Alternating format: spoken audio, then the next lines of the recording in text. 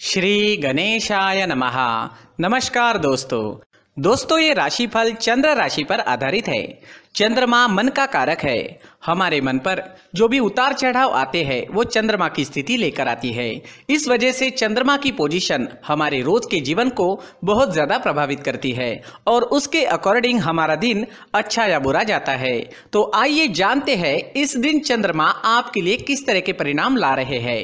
दोस्तों, इस दिन चंद्रमा आपकी कुंडली में पराक्रम स्थान से गोचर करेंगे, यानी चंद्रमा थर्ड हाउस में रहेंगे, जो आपके पराक्रम में बढ़ोतरी करने वाला है। जी हाँ इस समय में आप स्वस्थ रहोगे और मस्त रहोगे। बीमारियों से आप दूर ही रहोगे। इस समय में आपकी शरीर की ऊर्जा भी बहुत ज़्यादा रहेगी और आपकी काम करने की गति भी बढ़ेगी। इस समय में उन लोगों को सबसे ज़्यादा फ़ायदा होने वाला है, जो अपना व्यापार छोटी छोटी यात्राओं से करते हैं। यानी उन्हें व्यापार करने के लिए छोटी छोटी यात्राएँ करनी पड़ती है। इस समय में यात्राएँ होने के योग बन रहे हैं, खास करके छोटी यात्राएँ आपको लाभकारी सिद्ध होगी। चंद्रमा इस दिन नवम भाव को देख रहे हैं।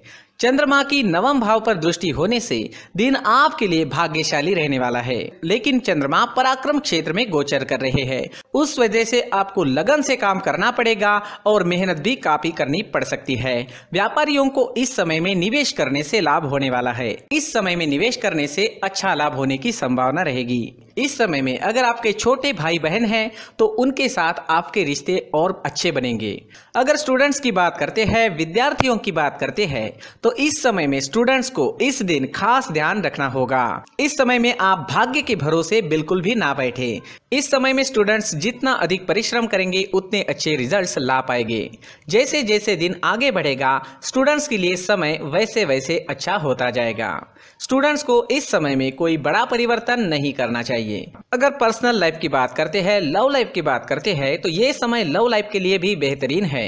इस समय में नए रिश्ते बन सकते हैं और पहले से बने हुए रिश्ते और मज़बूत बनेंगे। जो लोग अविवाहित है, उन्हें भी अच्छे रिश्ते आने की इस समय में संभावना रहेगी।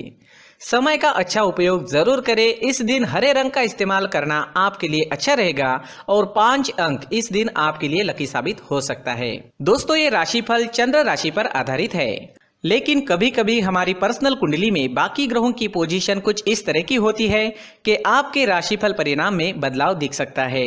इसलिए राशिफल को एक मार्गदर्शन के तौर पर लिया जाए तो ज़्यादा अच्छा रहेगा।